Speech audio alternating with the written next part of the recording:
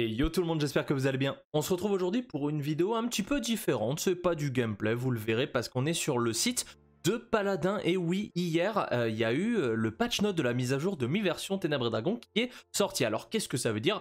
Eh bien en fait, c'est une petite mise à jour qui n'apportera pas de balance, pas de changement sur les champions, mais plutôt du nouveau contenu cosmétique déjà, hein, vous pouvez le voir sur la bannière, mais aussi des changements au niveau des bugs, plutôt des corrections euh, qui sont assez conséquentes. C'est pour ça que je me suis permis de vous faire cette petite vidéo.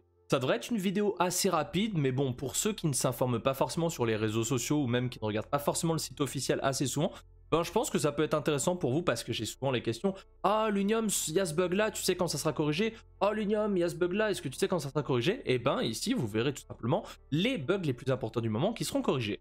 Pour commencer, comme je vous ai dit, on a un nouveau contenu cosmétique, même deux plutôt, puisqu'il y a un skin pour Drogos, Drogos Amerikegl, petit jeu de mots très sympathique, et la monture Mustang American, donc un beau cheval et un beau skin américain, là, aux belles couleurs des États-Unis, euh, voilà, c'est très marrant, ça fait penser un petit peu à American qui était sorti il y a, un ou deux ans déjà, peut-être même deux ans je dirais. Euh, et pour l'avoir, vous allez me dire, mais comment on fait? Ben, C'est écrit en dessous, euh, ça sera le 24 juin disponible dans le coffre mondial et le coffre sera dispo pour 400 cristaux. Alors si vous connaissez un petit peu les prix des coffres, vous vous direz, attends l'unium, il n'y a pas une couille dans le pâté là parce que normalement le coffre il coûte que 75 cristaux. Ce à quoi je veux répondre, oui c'est bien, mais ça a changé. Ça a changé parce que actuellement normalement il y a des armes dans le coffre, mais là vu qu'il y a ces nouveautés et qu'il y a eu une hausse du prix du coffre, eh bien il y a seulement certains skins qui vont rester dans le coffre. J'ai plus la liste en tête, mais là normalement je vais vous afficher un petit tweet qui répertoire les skins qu'il y aura ainsi que les deux nouveaux éléments cosmétiques qui sont le skin Drogos et la monture. Donc ça voilà, c'est cadeau, c'est frais, un petit skin pour Drogos, je sais pas, dites-moi ce que vous en pensez dans les commentaires, honnêtement moi je trouve cool, je trouve la monture très sympa aussi, euh, bon Drogos c'est pas un perso que je joue souvent, hein, vous le savez de, si, vous me suivez depuis longtemps, mais je trouve quand même qu'il a assez la classe. On va parler maintenant des gros changements de ce patch de mi-version euh, Ténèbres et Dragons, et on va commencer avec Corvus. Alors Corvus, depuis qu'il est sorti, il y a eu quelques petits soucis sur lui, et du coup la majeure partie de ces soucis vont être réglés. Le premier souci, c'est que Corvus ne pouvait pas marquer un coéquipier qui avait quitté la partie, et ça, ça va être changé. Alors en ce moment, il y a pas mal de problèmes de serveur, il y a des gens qui déconnectent et c'est pas de leur faute, donc quand ils se reconnectaient, ils pouvaient pas se faire soigner, c'était un peu chiant, on va pas se le cacher. Du coup, ça, ça sera fixé. Un problème un petit peu similaire, c'est avec Imani, Corvus qui ne pouvait pas marquer Imani après son premier ultime de la partie, ça aussi c'est très chiant. Ce sont des, euh, éléments qui sont très game breaker, en fait, tu ne peux pas vraiment jouer le personnage à sa juste valeur, et bien maintenant, tu pourras. Le troisième problème corrigé, il est de taille. C'est vraiment quelque chose qui revenait énormément sur les réseaux sociaux. C'est que la projection, elle permettait de sortir de la salle de départ plus tôt que prévu ou bien de sortir des limites habituelles des cartes. Alors pour ceux qui n'ont pas suivi, projection, c'est sa dague qui peut lancer et qui peut se téléporter. Vous avez peut-être vu passer certaines vidéos ou certaines screens, mais par exemple, c'était sur Chute Jaguar et Île Grenouille. Bah, vous pouvez vous téléporter tout en haut en fait de la map. Vous pouviez pas redescendre, vous pouviez rien faire, vous glitchiez en fait, vous exploitiez un petit peu un petit bug et euh, vous étiez intouchable par les ennemis. Ça, c'était un des plus gros soucis de Corvus. J'ai eu énormément de questions par rapport à ça. Et bien maintenant, vous avez la réponse. Un autre problème un peu plus mineur, c'est que l'interface de ciblage de l'ultime pouvait disparaître. Enfin, quand je dis mineur, c'est quand même chiant, hein, on va pas se le cacher, mais c'est un truc qui m'est moins arrivé personnellement. Pour ceux qui se demandent, vous savez, l'ultimate, vous avez un gros cercle au sol, logiquement, et bien parfois il n'apparaissait pas. Maintenant, c'est corrigé. Autre petit problème sur sa projection, la description, elle indiquait euh, que la distance parcourue était de 150 unités, alors que en fait c'est de 120 unités. Alors ça c'est pour les petits pointilleux, hein. ça reste chiant, attention, hein, c'est pas la mécanique est, la même, ça va vous téléporter quand même à 120 unités, c'est juste que ça indiquait 150, et une petite erreur d'écriture, de traduction ou quoi que ce soit. Un autre souci qui m'est pas souvent arrivé, c'est la couleur des contours des champions ennemis qui changeait pas quand le réticule de Corvus passait sur eux pendant qu'ils étaient à portée de ton arme principale. Alors je vous avoue que même en lisant, je suis un peu du père, donc je pense que c'était pas si important que ça. Euh, en tout cas, moi, ça m'est pas vraiment arrivé. Bon, et puis les derniers problèmes sur Corvus, c'est pas giga intéressant. Ça concerne les armes de certains skins qui n'avaient pas vraiment un effet visuel de rechargement, qui avaient des problèmes euh, sonores, on n'entendait pas vraiment le son, euh, ou alors une carte qui était mal traduite ou mal indiquée directement en jeu. Bon, ça, c'est un peu les problèmes, on s'en fiche, mais c'est important quand même. Hein. Il, y a, quelques personnes qui je pense, était très triste. Mais euh, voilà, c'était pas un truc qui est vraiment game breaking. C'est un truc qu'on pouvait se passer et qui aurait pu attendre le prochain patch, mais c'est fait, donc on va s'en réjouir.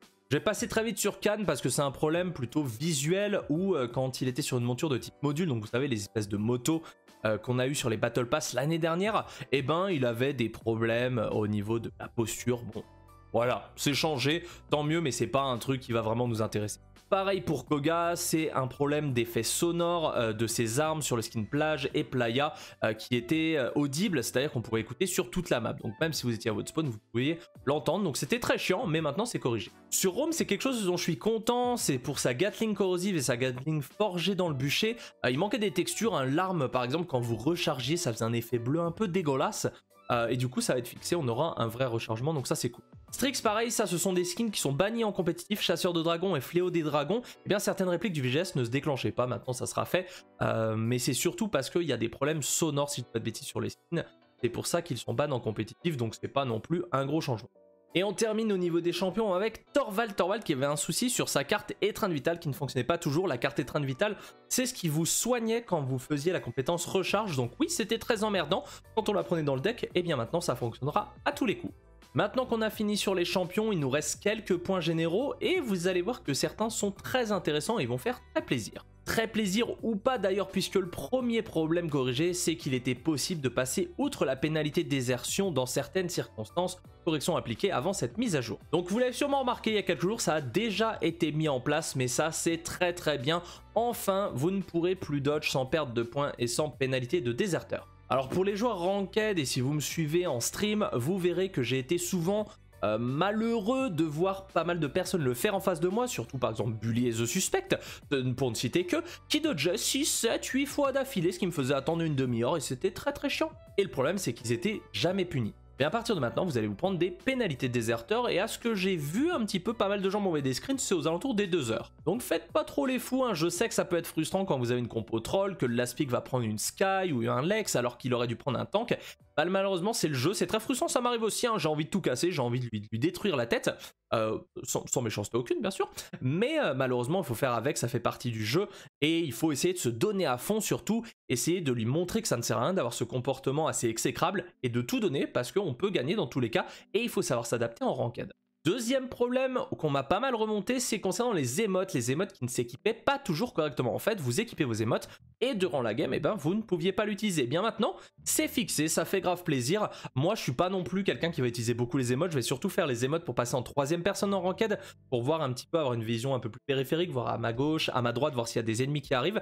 Mais c'est vrai qu'il y a des gens, bah, ils ont quand même acheté euh, des émotes avec des cristaux, donc ils ont envie de les, les utiliser, soit pour show off, soit pour, se montrer, pour se la péter, soit pour faire la méthode à troisième personne. Mais voilà, c'était important que ce bug soit résolu. Un problème qui était également de taille sur les armes Get Wrecked où les effets sonores des armes étaient trop faibles. En fait, il y avait pas mal de gens qui prenaient ces armes euh, parce qu'ils savaient que ça faisait pas beaucoup de son, donc on, on allait tirer, on allait dire merde, le son d'où il vient, on n'arrive pas vraiment à le localiser. Donc c'était un peu un skin pay to win entre guillemets pour les armes et du coup ça va être modifié, ça va revenir à la normale. Le prochain point, personnellement, je m'en fiche, hein, sans méchanceté aucune, mais je sais que ça va faire plaisir à beaucoup de personnes, c'est ceux qui sont focus sur les défis de Battle Pass. Alors il y avait des défis comme par exemple jouer Victor et tuer 50 Strix, ou alors euh, jouer Furia et tuer 50 Cannes. Bon, euh, autant vous dire que ça prend du temps, euh, les défis pour moi étaient intéressants sur le papier parce que bah, ça change de jouer 3 games de support ou des trucs assez classiques. Ça mettait un petit peu de piment, c'était un petit peu plus difficile, mais visiblement dans la communauté, hein, je parle pas de la communauté francophone spécialement, mais la communauté en général avec un grand C, euh, eh bien ça les dérangeait. Pour eux c'était des, défis qui n'avaient aucun intérêt, c'était trop dur à réaliser, ça prenait trop de temps et ça forçait surtout à jouer des champions. Du coup, ces défis, ils ont été mis à jour et maintenant il faut jouer 50 parties en tant que soutien ou jouer 50 parties en tant que tank. Comme ça, plutôt que se focus sur un seul champion, eh bien, ça va permettre la diversité. Vous pourrez jouer un coup Khan, un coup Fernando, un coup Furien, un coup Grover et je ne sais qui d'autre. Ça, c'est vraiment les problèmes principaux qu'il y a eu de corriger en termes général. Il en reste quelques-uns, je vais les énumérer très rapidement. Et par exemple, le thème musique stream pop qui avait des problèmes d'activation dans certains modes. Équiper un skin avec un spray associé ouvrait automatiquement la roue des cosmétiques. L'écran des détails de la mort qui n'était pas toujours exact. Les noms des créateurs des salons de parties personnalisés qui n'étaient pas toujours affichés. Dans certaines langues, plusieurs troncatures de texte ont été corrigées. Et pour finir, certains accessoires par défaut indiquaient un prix. Comme notamment le cadre de chargement de base qui était à 200 cristaux. Et eh bien voilà, la vidéo s'achève, hein, comme je vous dis, ça allait être très très rapide, hein. c'est vraiment un patch note de la mise à jour de mi-version Ténèbres et Dragon, donc c'est vraiment un, mid-patch. Pourquoi il y a eu ça? Eh bien je pense c'est parce qu'il y a eu pas mal de problèmes, surtout avec Corvus, et d'autres problèmes qu'il y a eu à côté également, que j'ai énuméré dans la vidéo, et c'était vraiment nécessaire de les appliquer parce que le prochain patch, comme vous le savez, il va venir un peu plus tard, là si je dis pas de bêtises, il devrait arriver d'ici deux petits mois, si on se souvient des jours du Battle Pass, on doit être aux alentours des 55 jours. Je pense pas spécialement qu'il y aura des mid-patch tout le temps, à part s'il y a vraiment de gros problèmes qui sont assez game breaker, quand ça viendra peut-être sur un nouveau perso ou sur une nouvelle mécanique. Mais je trouve ça très cool quand même que ça a été fixé assez rapidement. Alors je sais ce que vous allez me dire, il y a des bugs comme euh, les récompenses euh, cross-platform, le skin Victor ou les trucs comme ça, qui sont assez oppressants, qui ne sont pas fixés. Alors oui, ils sont toujours pas fixés vu, vu qu'on ne les a pas vus dans les notes ici, mais les devs travaillent dessus, ne vous inquiétez pas, donc soyez un petit peu patients. Il y a un dernier petit point sur lequel je voulais revenir, c'est les serveurs. Alors pour ceux qui me suivent sur Twitch et qui viennent régulièrement, vous savez qu'on en parle souvent en live, mais c'est vrai que pour les gens qui sont habitués plutôt au YouTube, eh ben on n'en parle pas souvent. Vous savez qu'en ce moment il y a pas mal de soucis de serveurs, il y a des déconnexions, il y a des lags alors que vous avez une très bonne connexion. Et je m'en excuse sincèrement, j'espère que ça sera fixe pour tout le monde très rapidement. Et c'est assez aléatoire, moi par exemple, il y a des semaines où je vais rien avoir, il y a des week-ends où je vais avoir plusieurs matchs à la suite où ça va bugger, et c'est difficile. Ce que je peux vous dire, c'est si vous avez ces problèmes, n'hésitez pas à m'envoyer vos matchs ID, vous pouvez les trouver dans votre historique de jeu directement et me dire euh, votre nom en jeu également et moi je pourrais envoyer ça au dev directement. Vous vous doutez bien que si c'était aussi simple que ça de corriger les serveurs, bah ça aurait été fait depuis un, avec claquement de doigts depuis déjà depuis déjà des semaines. Malheureusement, c'est pas aussi simple parce que eh ben, les devs ils sont aux États-Unis, les devs ils sont euh, en confinement, enfin on travaille de la maison tout le monde et du coup bah c'est dur de tout distinguer. Il y a déjà eu des changements de fait, il y avait eu un post Reddit il y a quelques semaines sur un serveur euh, à Londres et Amsterdam, un peu un data center qui avait été changé parce que ça causait beaucoup de soucis. Il y a eu beaucoup d'améliorations pour pas mal de joueurs de ce côté-là, mais il y a toujours des joueurs qui ont énormément de soucis et malheureusement c'est assez random j'ai l'impression. Alors je voulais vraiment vous remercier de votre patience, je sais que c'est très très frustrant et je m'en excuse de tout cœur, mais vous inquiétez pas, ça va revenir à la normale, je n'ai pas de date à vous donner, mais voilà. Essayez de prendre votre mal en patience, je sais que c'est très très frustrant, mais si vous voulez me parler, me donner match ID, je suis là pour ça et je vais tout faire pour vous aider. Bah écoutez, on va s'arrêter là, donc n'hésitez pas à me dire dans les commentaires si la vidéo vous a plu, euh, si vous aviez eu connaissance de ce patch note, si vous regardez un petit peu les réseaux sociaux ou si vous allez sur le site internet directement. Voilà, j'ai voulu faire un truc un peu concis, pas que ça soit trop chiant. Je vous ai vraiment résumé les trucs principaux et expliqué pourquoi et comment. Et j'espère que ces quelques minutes en ma compagnie vous ont fait plaisir. N'oubliez pas, dans l'onglet communauté, je vais mettre mon planning chaque lundi euh, pour savoir quand je suis en live sur Twitch notamment. Cette semaine, je suis en live ce soir à partir de 19h sur ma chaîne Twitch qui s'affiche dans la description et peut-être quelque part sur l'écran. Je ne sais pas où je vais le mettre, vous le verrez. Euh, donc il n'y a pas de souci là-dessus. Encore une fois, merci de votre soutien, ça fait plaisir, on est 3500 abonnés, ça va très très vite et je sais pas quoi vous dire à part merci. Je vous fais des bisous et je vous dis à bientôt. Ciao ciao